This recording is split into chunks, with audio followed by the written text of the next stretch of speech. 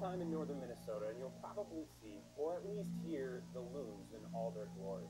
And in the next few weeks, one of those loons is going to migrate south to the Twin Cities. And this is no ordinary bird. It is 20 feet tall.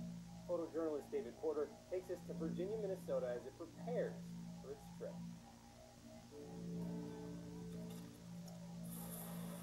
That's such a beautiful sound, the call of the loon. We adopted the loon as kind of the city's official mascot.